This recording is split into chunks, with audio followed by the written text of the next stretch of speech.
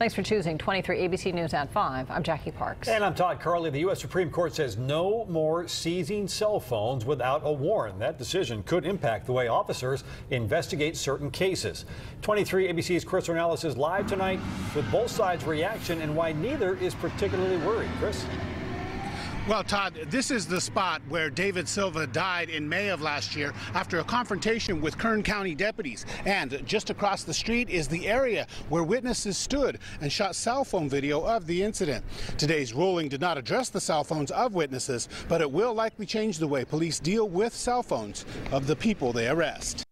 To officers who feel like they have an entitlement to just search anything whenever they arrest someone, it, it, it might be a bad day for them, but uh, you know, for the Fourth Amendment and the Constitution, it's a good day. Criminal defense attorneys are celebrating the Supreme Court's decision to require search warrants before police can look in the phone of a person they've arrested. They can seize the phone, but to actually go inside the phone and begin reviewing the data, text messages, photographs that are saved, uh, they would need a warrant for that. The district attorney's office says the decision probably won't have a huge impact on the cases they prosecute. This ultimate decision, I wasn't that surprised. Uh, smartphones now have so much more information on them um, than ever before, um, so much more private information. Sheriff Donny Youngblood says the ruling adds an extra step for officers to follow, but he says in most cases, his deputies were already getting warrants for cell phones anyway. Sometimes your gut tells you somebody's got something and you don't have probable cause. I mean, it happens to police officers all the time.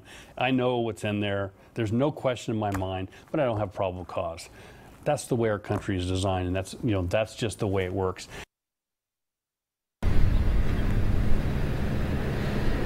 Sheriff Youngblood pointed out that with today's technology, they can request a search warrant right from their cars. So the need for a search warrant shouldn't really make their cases take that much longer. Back to you.